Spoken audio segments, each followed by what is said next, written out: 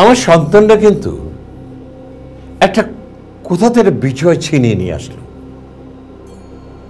বিষয়টা কি? একটা পর্যায় থেকে আরেক পর্যায়ে নিয়ে চলে গেল। কিন্তু this is a very risky job very challenging job এই চ্যালেঞ্জটাকে অ্যাকসেপ্ট করতে গেলে আমাদের সবার মধ্যে একটা কমিটমেন্ট ডেভেলপ করতে হবে। We want we want to grow that should be the only slogan I believe সব প্রান্তেই আর কমিটমেন্ট হচ্ছে যে অপচয়গুলি করেছিলাম, যে অন্যায়গুলি করেছিলাম, সেগুলি শুধরিয়ে দিতে হবে। সমৃদ্ধিশালীর দিকে এগিয়ে নিয়ে যেতে হবে। এখন আসি ইন্ডাস্ট্রিয়াল সেক্টরে ইন্ডাস্ট্রিয়াল সেক্টর হয়তো ভয় পাচ্ছে। যে বিদেশিরা যদি চলে যায়, আমাদের অবস্থা হবে কি? কিন্তু প্রশ্ন হচ্ছে, আমরা কি প্রথম থেকে অর্গানাইজেশনটাকে সেভাবে সৃষ্টি করেছি? আমরা কি আমাদের সন্তানদেরকে সৃষ্টি করার মতো সেই তাগিদ আমাদের মধ্যে ছিল? সেটা তো নাই। আমি পরপর দুবার জাপানে গেলাম। বেশ কটা অ্যাসিমিতে নিয়ে গেল যেখানে যাই, ওদের ছোট্ট ট্রেনিং রুম। প্রশ্ন করলাম তোমাদের এত ছোট অবস্থায় ট্রেনিং বলে training is a must training room না থাকলে আমাদের রেজিস্ট্রেশন হয় না। আমাদের দেশে ইন্ডাস্ট্রিতে অপচয় বেশি। Wastage is very high productivity is low কারণ কি? শিক্ষা দিচ্ছেন না। ট্রেনিং নাই।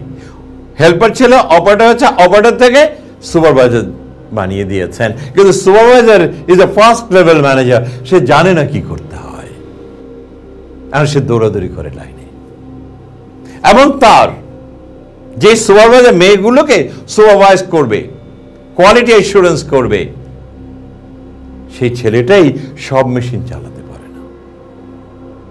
সে হয়তো বা চালাতো সিঙ্গেল মেশিন অথবা ডাবল নিডল মেশিন অথবা ফিড অফ দ্য আর্মস অথবা ওভারলক এর বাইরে সে কিছু জানে না। আর অন্য মেশিন মেয়েদেরকে যখন যে বলে তুমি এটা ঠিক করতে পারছ না, মেয়েরা তখন বলে, একটু দেখায় দেন, সে দেখাতে পারে না। But is a supervisor supervisor করণীয় কি সেটাই সে জানে না। আমি ফ্যাক্টরি যাবার আগে আমার কি কি করণীয়? এবং ফ্যাক্টরিতে শুরু হওয়ার আমার কি করণীয়? আমার লাইনে কীভাবে ত্বরান্বিত করতে হবে? Supervisor requires lots of qualities যেগুলি শিখে, জেনে, তারপর লাইনে তাকে দিতে আমাদের ইন্ডাস্ট্রিতে ওই শিক্ষা দীক্ষার বড়ই আকাল, দুর্ভিক্ষ বললেও আমার মনে ভুল করব না। আপনি ইন্ডাস্ট্রি ডেভেলপ করবেন কি করে? আপনার প্রত্যেকটা ডিপার্টমেন্ট শুড বি ট্রেন্ড এবং আপনি ট্রেনিং কথা বললেই আপনার মনে করেন অপচয়। ধরে নেন this is an expense gentlemen this is not an expense it is an investment for your company আপনি যত বেশি শিক্ষিত করবেন,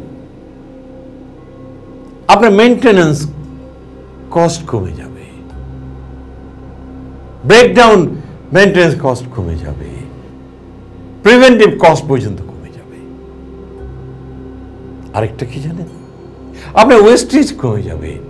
আপনি যাকে শিখিয়ে দিলেন, সে শিখলো, জানলো। এবং তুমি এইভাবে কাপড় নষ্ট করতে পারবে না, অপচয় করতে পারবেন আমার এক্সেস শিপমেন্ট হবে সেই এক্সেস শিপমেন্টের টাকা দিয়ে আপনি সারা বছর আপনি ট্রেনিং দিলেও আপনার টাকার কমতি হবে না। এখন প্রশ্ন হচ্ছে, কাকে দিয়ে করাবেন? আপনি তাকে দিয়েই করাবেন। যদি গার্মেন্টসের কথা বলে গার্মেন্টসের লোক দিয়ে করাতে হবে। Who has an expertise on garments sector আমরা অফুরন্ত গার্মেন্টস সেক্টরে কাজ করছি। দেখিয়ে দিচ্ছি কীভাবে ফলাফলটা হতে হয়। সো এখন বিদেশি চরেকের ভয় পাওয়ার কিছু নেই।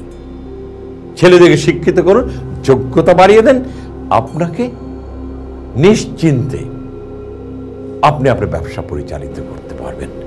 ভয় করবেন